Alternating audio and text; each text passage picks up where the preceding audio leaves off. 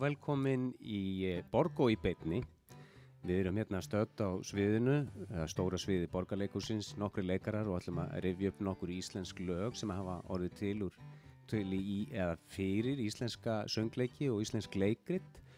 Uh, við sendum út á YouTube brás uh, borgarleikursins og hlaðvarpinu og í, á vísi.is og það er, er eitthvað sjómastöð líka sem er, ég held að sé stöð Tvö vísir, eitthvað, vísir, já. eða, sem er stöð þrjú eða eitthvað svo leiðis. Það er þetta nálgast okkur á alls konar Já, já, já, já, það er þetta að vera alveg með allt í blasti í öllum herbyrgjum húsins.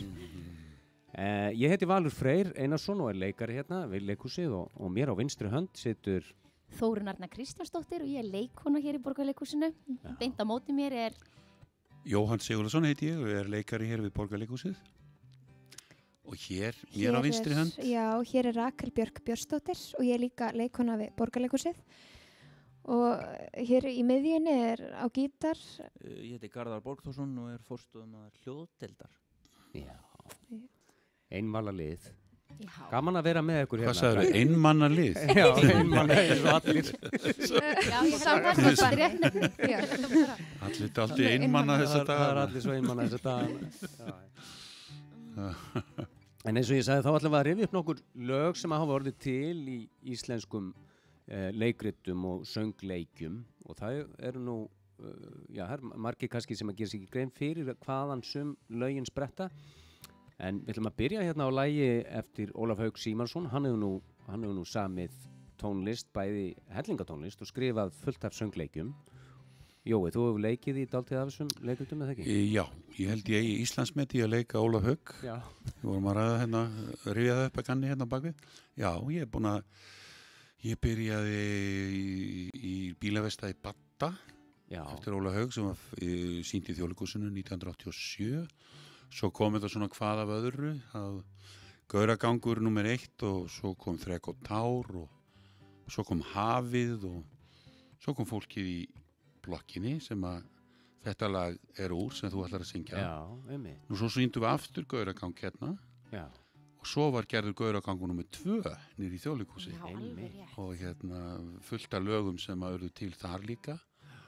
Og um, já, já, svo gerði Ólafur líka sjómasmynd og þannig að Og Bjart með köplum Bjart með köpnum, Já, ég var í þeirri sýningu. Já, varst í þeirri sýningu Ekki Jói, ég held að Nei. ég veit, ég Nei, hef ekki það. eitt að fáu ég var ekki Mér hann- finnst líka textarnir hans svo geggjaðir. Já, Já. Og ég var, hérna, bara hvað, hann hefur gert mikið fyrir íslensk ungmenni að læra alls konar ný orð, eins og eininga menningaplötunni og já, já Algjörlega, allar þessar barnaplötur, þær Já, hafa já. alveg verið frægustu dagulögin, vetrar, sólin og allt þetta Já, sem að. Björgvin söng, það er text eftir Ólaf og, Já, og þó viðar væri leitað, ha, hann er náttúrulega alveg hann hefur lagt hönd og bló í íslensku Já, leikhúsi, alveg, alveg reynd ofstoppa maður til vinnu fyrir leikhúsi alla tíð verið Já, já. já, já.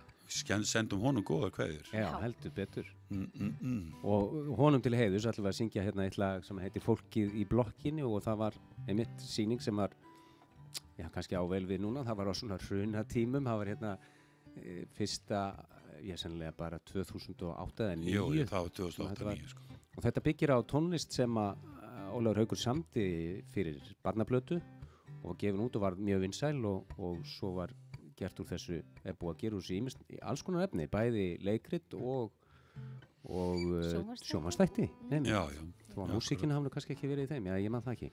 ég maður það ekki heldur. Nei. Já, Já, já ef ekki bara að syngja þetta lag. Endilega.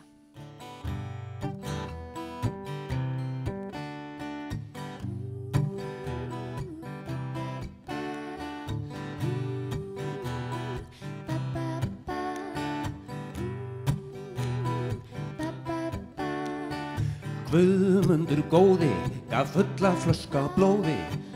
Hann er með ótrúlega sjálfgæft blóð. Sigurður sæti, sendill hjá ágæti. Hann yrkir ógeðslega væmin ljóð. Jónmundur jaki vann jólamót í blaki. Hann fór að hágráta þar sem hann stóð. Búum öll í sömu blokk í hólunum Okkar blokk er langt með skreitt á jólunum. Þó sumir standi aldrei upp úr stólunum.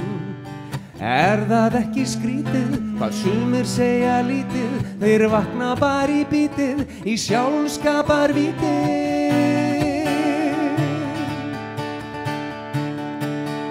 Hermundur Hansson, hann mun vera Fransson, lætu sig dreyma um amerískan skrjóð, Vernharður Vívill sem vill heita Fívill, Hann ræktar jurtir sem drekka nautablóð Steingrímur sterki stað lepplinu frá berki og segir að ávextir spilli voru þjóð. Loftur Loftsson heitir besti vinnur minn. Hann býr hérna á loftinu með hundin sinn og hundurinn er þrjóskari en tjeskotin Er það ekki skrítið, hvað sumir segja lítið, þeir vakna bara í bítið, í sjálfskapar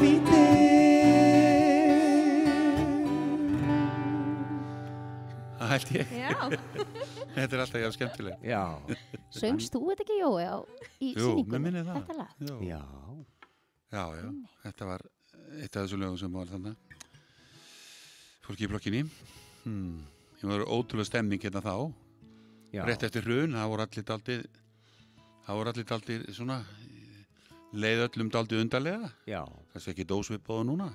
já, nákvæmlega. Það er aðeins, En leikritið var sýnt hérna. Örlítið önnur tilfinning í, í þessari krísu núna, Það sem að Já, eh, einhver benti á að það er ekki sama, það var svo mikil reyði í samfélaginu í eftir hrun og það var eiginlega kannski það sem að var svona, manni fannst eins og mér fannst taka þjóðuna lengstan tíma að jafna sig á, ekki endilega efnahagsfall, e, jú, jú, að vissu leiti þetta mörgu, og áttu marg, margir um sárt að binda, en, já, já, en e, það var reyðin sem var svo lengi að, já. að jafna sig, mér finnst við bara nýbúin að jafna okkur á, á þeirri reyði Já, samkendin er svo mikil núna, maður finnur svo mikla hlýju og ströyma frá fólki og all, einhvern veginn einhvern veginn eins og heimsbyðin bara standi saman allt í einu í fyrsta sinn í veraldasögunni Já, það er satt Já, þó að við séum okkur, við upplifum okkur ein núna í samkomiðbanni þá höfum við kannski aldrei verið meira saman. Þetta er svona Já, svona einhverju leiti, já. einhver leiti. Já. Já. Þó með svona ægilega leiður á þessu. Já, ég bara, bara, bara ég upplifði það hérna áðan ég, mér langar að segja frá því bara þú veist, að því við höfum ekki verið hérna í fimm vikur hvað mér fannst allt í hennu gaman að vera komin hérna Og vera það með er ykkur. indislegt. Þetta var einhvern veginn bara ótrúlega góð tilfinning sem kom yfir mig Já, Þetta Já, er líka, þessi tími ársins er oft tímin í leikhúsinu sem við erum öll orðin svolítið þreytt og við erum bara búin að vinna svo svakalega mikið og steyttist í sumarið. já, En núna er maður svo þakklátur Já, að koma í vinnuna og það er rosa gott að finna það. það er alveg rétt. já, já En næsta lag sem ég heyra að Gatti er farin að, að hérna, Undirbúa. svona að plokka hérna undir okkur.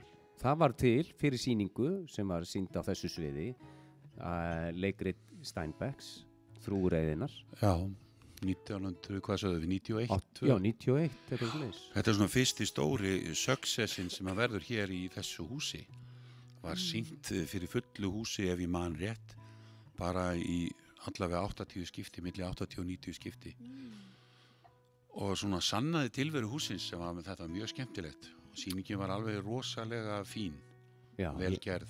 ég man eftir þessar síningu. Kjartan Ragnarsson leikstýri sýningunni og K.K. Já, sem gerði lagi sem að hún rækkar allra að syngja hann var í sýningunni og gerði svo mikið af músik sem síðan er orðin þekkt já, í- fyrir þessa sýningu já. Ég man, ég, var, ég sá KK á þarna í fyrstu sinn. Þarna var hann bara nýkomin held ég bara frá Svíþjóð eða eitthvað.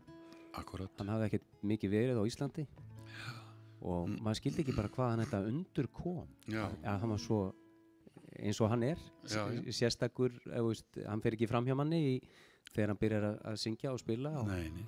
og svona bara streymdi í gegnum þennan mann svona Já, þessi ótrúlega fallegu lög. Já, akkurat. Mjög gaman. Nú skulum við heyra lagið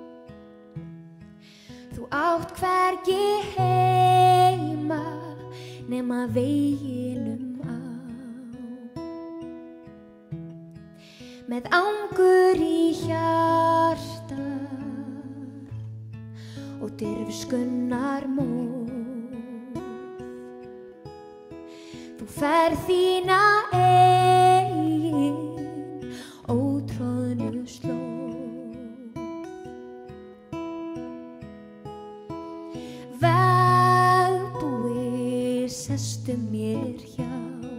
Segðu mér sögur, já, segðu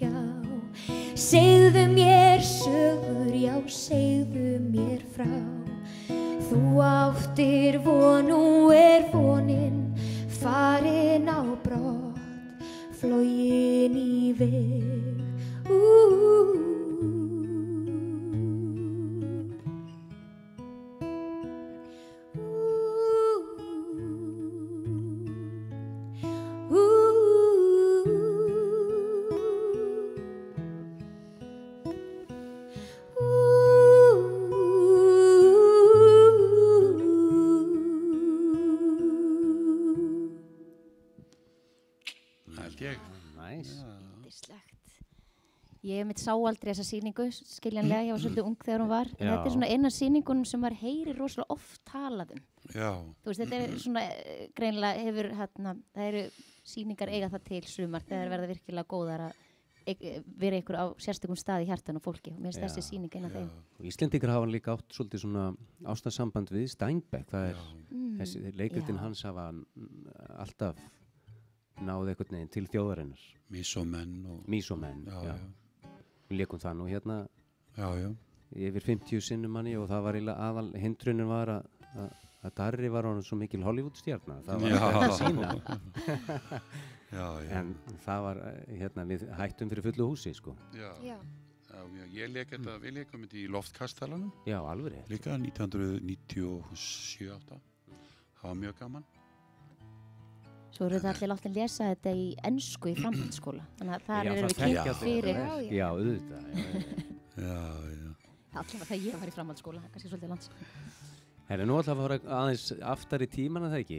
já, við ætlum að rifja upp eh, hérna þá félaga, Jónas og Jón Múla Einmitt. það er ótrúlega skemmtilega sögu til að þeim bræðurum og líka bara af Jóni Múla, við nákvæmlega að segja ykkur eina ég held ég hef ekki sagt þið ég náði nú í skotti á því hérna þegar gamla útvarsleikúsi var nýra á skúlagötu Já, þá var svona smá aðstæða þar sem við gáttum setið og beðið eftir að koma fara inn og út svona eftir því hvernig stóð á í, í, í hérna í vinnunni. Og þarna voru þulirni líka alltaf og það var svona við sáum inn í inn í gegnum hurð þarna inn í þular klefan sáum í svona þeir eru voru að þylja Jón Múli og eða Jóhannes Arason og Pétur Pétursson. Já, og þeir voru með leik þarna sem að já, þeir nánast kölluðu rúsneska rúlettu já, og ef ég maður rétt að þá lögðu þeir undir sko. Þannig að þannig að sko eitt fór inn með texta hinn er byðu og hann fór og las textan í beinni. Þetta voru yfirlt auglýsingar. Þá gerður þetta svona. Slátufélag Suðurlands í Glæsibæ auglýsir Slátrið er komið í Veslanir Sláturfélag Suðurlands Glæsibæ þá snéru þeir blaðinu og lásu í beinni og, og náttúrulega veðmáli gekk út af það hvort að mönn, mönnum myndi eitthvað að skrika fótur í því að- lesa allt rétt af blaðinu. Stórkostlega. svo stóðu hinnir og fylgdust með sko, hvernig, hvernig hvort þetta myndi ganga hjá þeim. Þetta eru vel læsir menn hérna sem eru búin að vera við mikrofónin alveg áratugum saman að lesa. Það var svolítið gaman líka að saga því þegar þeir komu á svið held- það var nú eiginlega í held ég síðasta sinn sem þeir fóru sjálfur eða saman bræðurnir inn á svið og voru orðnir ansi fullorðnir. Og uh, Jónas kemur inn á undan og Jón Múli kemur á eftir svona og er svona fyrir frekar hægt yfir. Og Jónas stoppar og lítur svona lítur á hann sem hann er að koma inn á svið. Lappa svo á mótónum og svo kvíslar hann eitthvað í eira svo koma þeir og, og fóru á mikrofónin og, og, og sungu saman eitt lag. Mm. og allt gekk það voðalega vel. En svo voru allir rosalega spenntir að fá að vita hvað þetta hefði verið sem hann hefði sagt við bróður sinn þarna. Mm. þegar hann var að koma inn á svið. Hvað var það sem þú varst að segja við hann þarna þegar þú kvíslaðir í eirað, eirað á honum. Þá sagði Jónas já ég sagði nú bara við hann hvað helvít er orðin gamall maður? Getur ekki einu sinni drullast inn á leiksviðið? En þetta lag er náttúrulega frægara en mörgönnur Já. sungið í öllu hvað sagður? Ný, þetta Öllum útilegum. frábært fjöldasöngslag þú Já, veist, í veislum Já. til að ná upp smá stemningu Já. líka bara er íslenska sumarið Já, sem við ætlum öll rosa mikið að upplifa í sumar Já, Nei, þetta er bara, maður finnur lyktina af grasinu Já, og hérna, þetta kemur manni bara á eitthvað mjög góðan stað og útilegulag líka já, og ástin einhvern veginn og rómansinn í þessu mér finnst Já. það koma svo skemmtilega í gegn já Hefur ekki bara að syngja þetta? Syngjum þetta. Jú.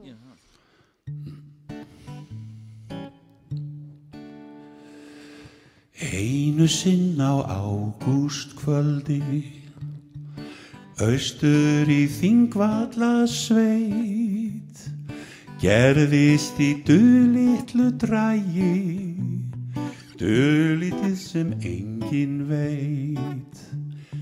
Nema við og nokkrir þrestir og kjarrið græna inn í bólabás og ámasfellið fagur blátt og fannir skjaldbreiðar og raunið fyrir sunnan ektar ás.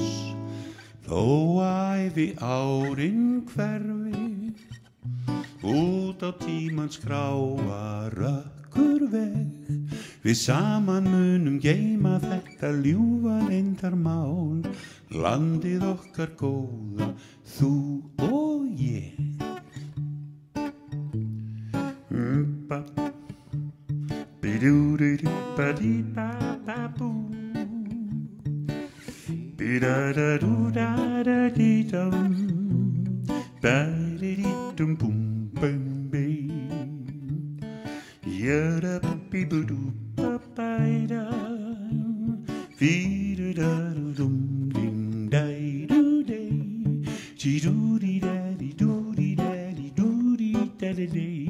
Du di du du du Þó að æfi árin hverfi út á tímans gráa rökkur veg. Við saman munum geima þetta ljúfa leyndarmál. Landið okkar góða þú og ég. Takk fyrir þetta. Held ég Já, það er svo mikið, já, það er svo fallegt að þetta byrjar að- sem pínulítið leyndamál en svo bara varð öll náttúran einhvern veginn vitni af þessari stórkostlu Já. stund Og þetta lag er samið fyrir Delirium Bubónis. Já. sem var frumsýnd í Iðnó, er það ekki? Jú, var ekki? 50 og eitthvað Búið leik, var leikið um alland og í öllum áhuga leikfélögum og Mm. svona talsveit langt síðan það hefur verið svona kíkt á þetta svona verkið sko. verkið sjálft, en lögin mörg úr þessu Já, lifa ennþá bara góðu algjörlega. sjálfstæðu lífi Já, kannski textin orðin svolítið kannski. Aldraður, þetta, en- já, en er þetta, þetta voru svona revíu leikhús eða hvað? Eða, já. Já, já. sem var náttúrulega rosalega vinsælt form hér á áður, árum áður sko. já. og þetta dugði svona aðeins fram eftir svona milli 80 og 90 en það er í raun og verið þegar spaukstofan kemur til sögunar þá hverfur svona revíand aldrei af sviðinu Já.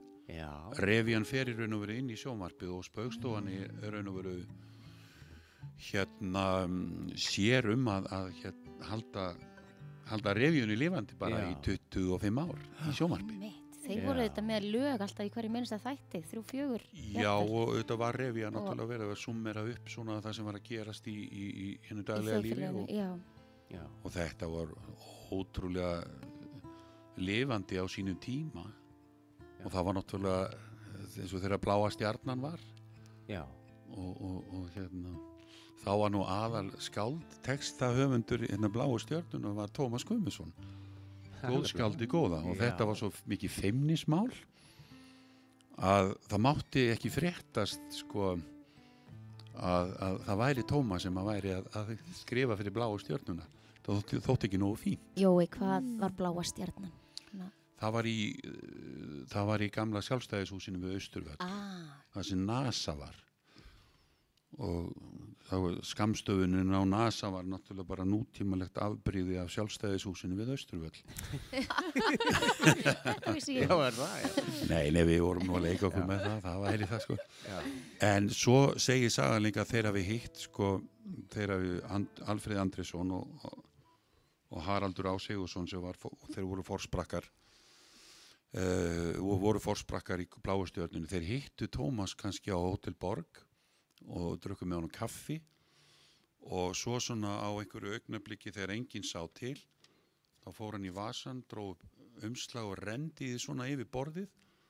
Það voru svona svo mafjósar og, og, og svo var reyndi einhverju öðru tilbaka þar sem að var verið að þar var texti þar sem hann var beðin um að færa ákveðin texta í ljóðform Ah. svo skilaði hann af sér svo var önnur saga því að hann var í stundu hefði stundu verið svo lengi að Já. þeir voru komnir á gluggar hjá honum í bakgarðinum hendu grjóti gluggar og sagði Tómas, Tómas þú verður að fara að skila þessu við, þú, veist, við, erum- þú verður að fara að koma með þetta já, býðið, þetta er alveg að koma já, þá var hann alveg á, á, á, á hlaupum að klára sko.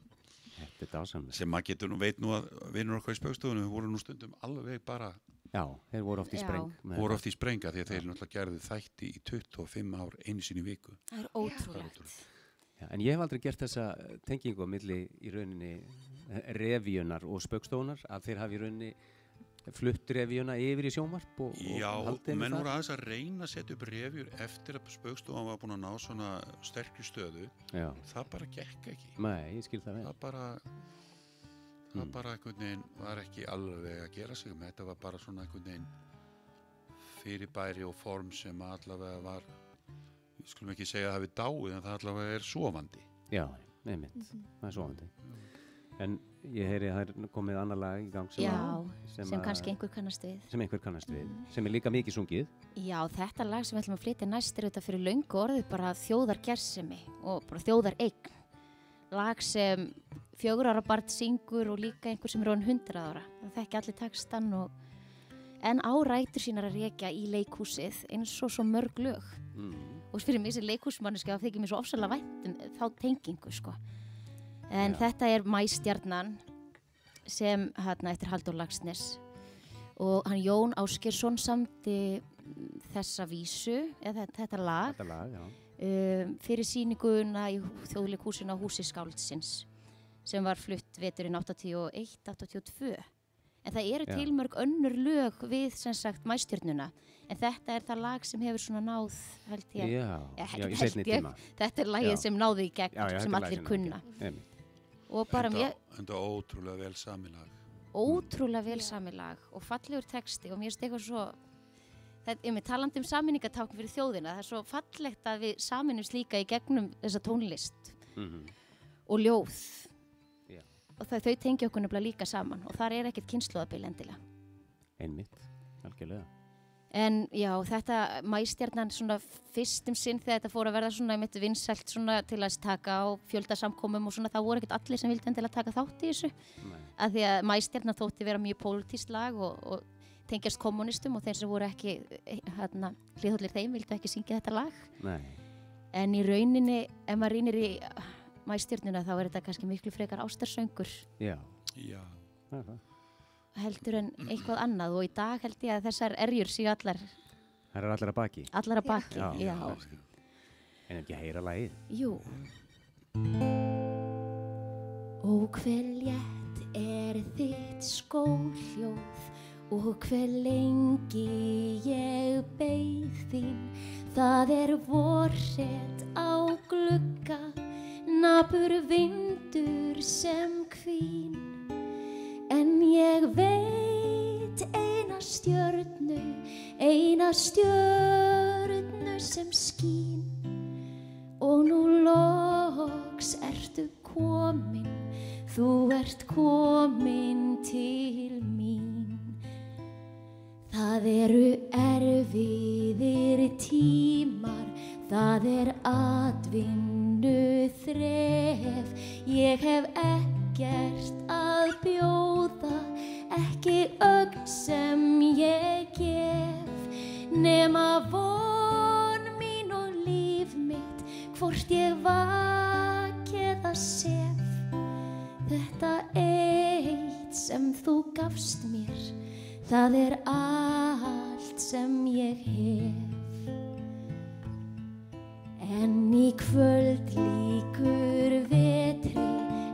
sér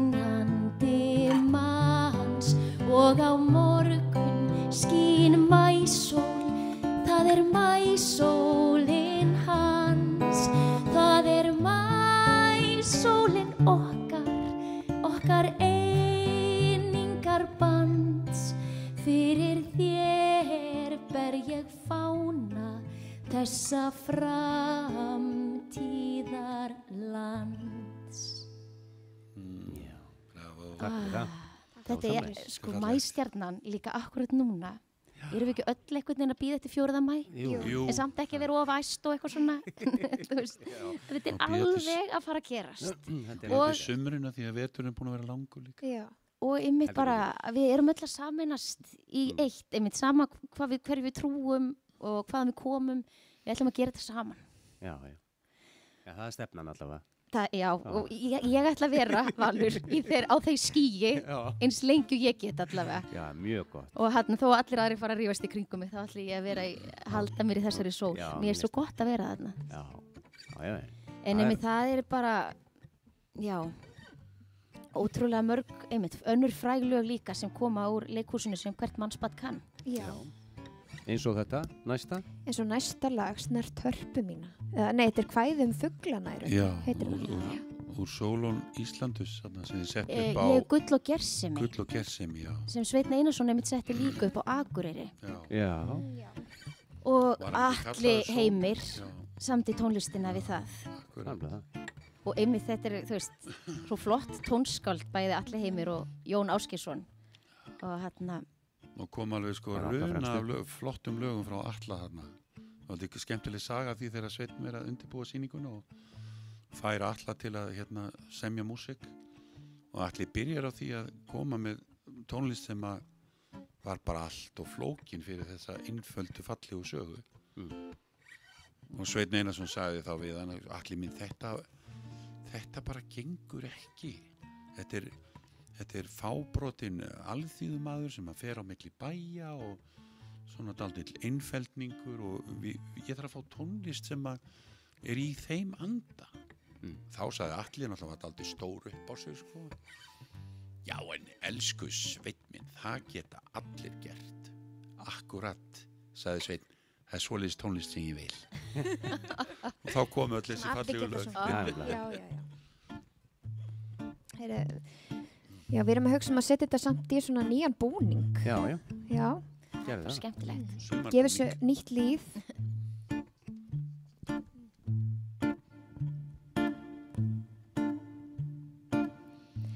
Snert hörpu mína heiminn borna dís Svo hlusti englar guðs í paradís Við götu mína fann ég fjallstúf Og festi á hans dreng og rauðan skúf. Úr furu tré sem fann ég út við sjó. Ég fuglaskar og líkur smiðjum á Í huganum til himins oft ég svíf Og hlýt að geta sungið í þá líf. Þeir geta sumir sint á læk og tjörn Og sumir verða alltaf lítil börn En sólinn gillir sund og bláin fjörn Og sameinar með töfrum loft og jörð. Ég heyri fjarska viltan vangja þig, um varpan leikur draumsins perlu glit, snart hörpu mína heiminn borna dís og hlustið englar guðs í paradís og snart hörpu mína heiminn borna dís og hlustið englar guðs í paradís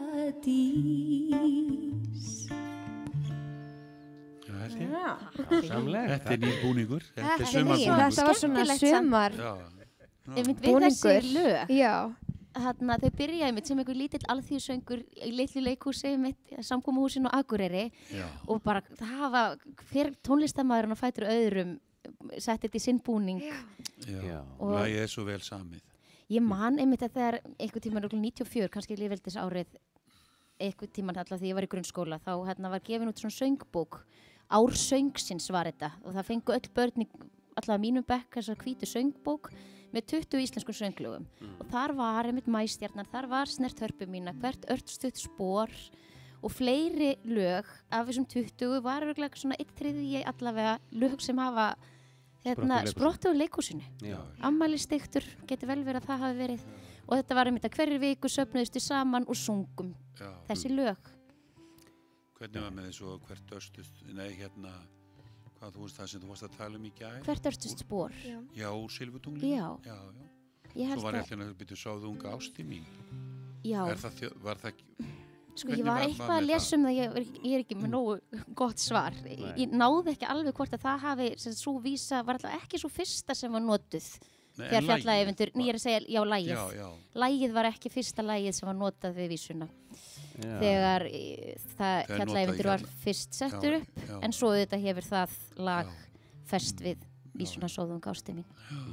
Einum með það var líka í þessari bók. Já, akkurat.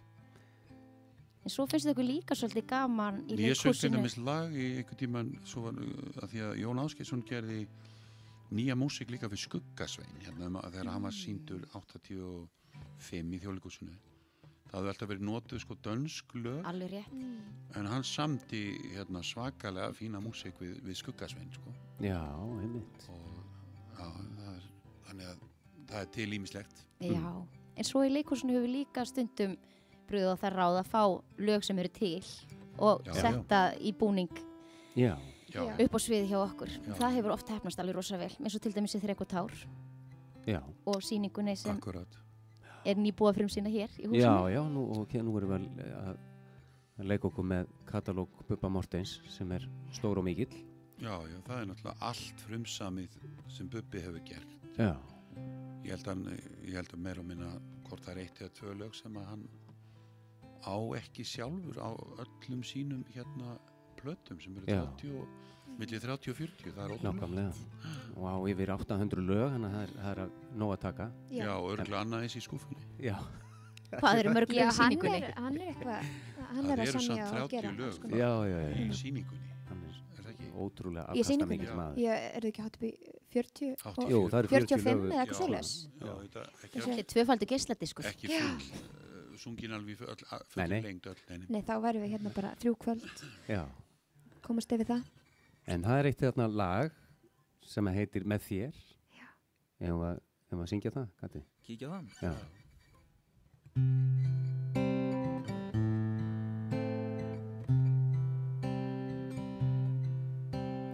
Sérðu ekki við fættumst til að standa hlið við hlið og halda út á veginn saman líta aldrei við. Með þér vil ég verða gamall og ganga lífsins veg. Með þér er líf mitt ríkara, með þér er ég bara ég. Með þér er vorið indislegt og sumarið dýrðin ein. Með þér er haustið göngutúr og æfintýr undir stein. Með þér er veturinn kertaljós koss og stögrós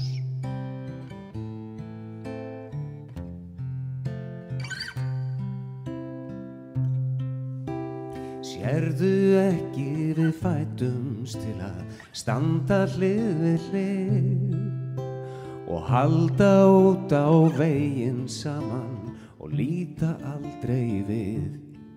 Með þér vil ég verða gamall og ganga lífsins veg. Með þér er líf mitt ríkara, með þér er ég bara ég. Með þér er vorið indislegt og sumarið dýrðin ein. Með þér er haustið göngutúr og æfintýr undir stein. Með þér er veturinn kertaljós, koss og stökrós.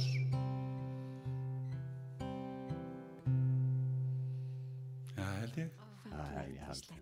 Vinsalt brúðkaupslag líka. Já, já, og jarðaferralag og alls já, konar. held alls konar, já. Já, Ragnar. Gröndals gerði þetta svolítið frækt líka. Já, þetta lag. Já, einmitt, Hver segir þau? Ragnar Gröndal. Já, já, já, akkurat. algjörlega. Já, já. Hún söng það eiginlega inn í hjörtu landans Já. bara. Já, Hún gerði það. einmitt. Ég tengi einmitt ekkert endilega að bubba við þetta lag. Nei. Nei. er. Þetta er eitt af svona lögum sem Já. að ég til dæmis vissi ekki hann hefði samið. Nei, Nei. ekki ég heldur fyrir en í gær. Ég bara finn í gær, já. Já, ok, einmitt. einmitt. Ég eftir að sjá sýninguna. Já, þú Já. að sjá síninguna, Já. það er, Ég Já, lakka til við síndum bara þrísvar, þetta er svona, já. Hættum alveg á toppnum bara. við hættum á topnum og byrjum á topnum. á- Byrjum á um- Í haust, Jú. einmitt. Ah, Herðu, en það kom að loka lagi. Já, Já, Ha, já, Þetta er svolítið melló hjá okkur, við finn ég þegar við byrjuðum að, en það er kannski, það er bara voru lofti og allir slagir og, allir slagir, allir heima og við Enginn að búum fara til neitt. eitthvað hressleika prógram líka. að fara neitt eins og maðurinn sagði. já, við látum eigum Helga það Björnsson stöðu bara. Já, já, við búum á eigi, við erum ekki að fara neitt. Það er alveg rétt. En já, Og þetta er lagi eftir, eftir þá félaga Braga Valdimar, eða ekki? Jú, Ég held að hann texta. hann á hann á lagatexta. lag og texta. En þetta er úr sýningunni Jeppa á Jeppa fjalli á fjalli, já. sem var sýnt hérna á litla sviðinu Já, fyrir nokkrum árum. Já, í leikstjórn Benna Ellings akkurat. og þetta gamla, gamla norska leikrit. Já, Holmberg, Holm- Holmberg? Já, Holmberg. Já, já. Og fyrir þessa sýningu sömdu er það ekki Megas og Bræði Valdimar Já. í ykkur svona samstarfi. Akkurat. Já, ég held að Megas hafa nú átt 90%. og- 90%, eða- já, ok, 80% já. Samstarf. já. og Bræði Valdimar svona átti Já, hendinn hérna einu og einu. En hann á allavega þetta lag. Hann á þetta lag. já. Það var svolítið gaman að hitta hann einn ekkert þegar við vorum að vinna þetta og tala við hann og svo þakkaði ég honum fyrir lagi en sem tvær stjörnur. Já, sagði, ok, þakka fyrir það Jón. svo. Já, þetta er virkilega fallið Já, sem er svona eitt lag svona fyrir, fyrir svona brúðköp og jarðafarir sko. Það Já. gaman því sko. Það var fljótið til svars. Já, alltaf fljótið. Ótrúlega fljótið til svars og eina sögu á ég nú, ég venn nú að fá að segja hana sko. Ég veit, hann hitti hann í fordbókabúð og sagði, heyrðu, eigum við ekki að fara að búa til söngleik með lögunum þínum? Já, meina það, Jóhann, sagði, já, ég ekki gera það bara til í dauður. Ég rökk alveg í kút, sko, uh, varði einhvern veginn að svara þessu og sagði, já, ef þú bara, ef þú lifa svo stórbrotnu lífi einhvern veginn og alltaf sloppið fyrir hot. Já, sloppið fyrir hot, sko, maður er fyrir hot, sko, en sjáðu, sko, maður sleppur aldrei fyrir fymta hotnið, sko. Maður sleppur aldrei fyrir Pentagon hotnið. Já. Ég er eiginlega ennþá að pæli hvað það meinti. Já. Já. Ótrúlega skemmtilegur Hann- til svars. Já. Og, og mikið séni. Já. En ef við bara skella í lokalægi. Er Er það ekki? Það ekki bara. Svona þegar ég Ekki komin. spurning. Sér hver draumur lifir aðeins eina nótt Sér hver aldar rís en nýgur jafnan skjótt Hverju orði fylgir þögn og þögnin hverfur allt og fljótt En þó að augnablikið aldrei fyllir stund Skaltu eiga við það mikilvægan fund Því að tár sem þerrað burt aldrei nær að græða grund. Líttu sér hvert sólarlag sem þitt hinsta væri það því morgni eftir orðin dag.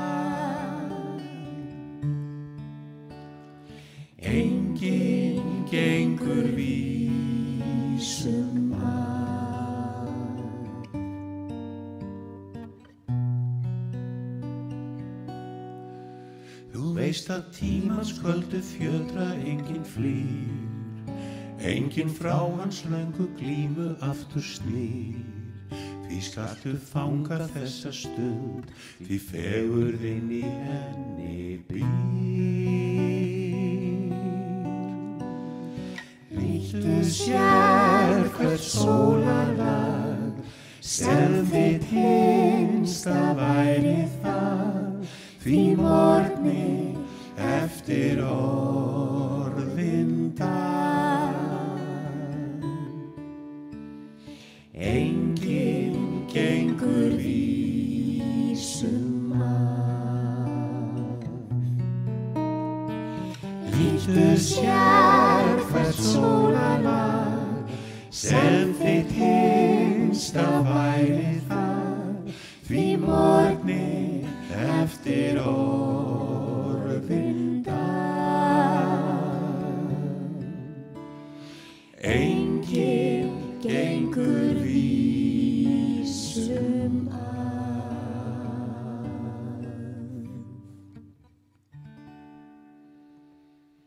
Held ég, þetta er ljúft. Við erum ekkert að flýta okkur. Nei. Nei, nei, nei. Já, her- þá þökkum við bara kærlega fyrir hlustununa og áhorfið og vonum að þið njótu dagsins. Vorið er nú aðeins farið að blikka okkur, þannig að Já, við erum búin að syngja mörg lög um vorið hérna í dag. sömadagurinn fyrst á morgun. Einmitt. Gleðilegt sumar. Gleðilegt sumar.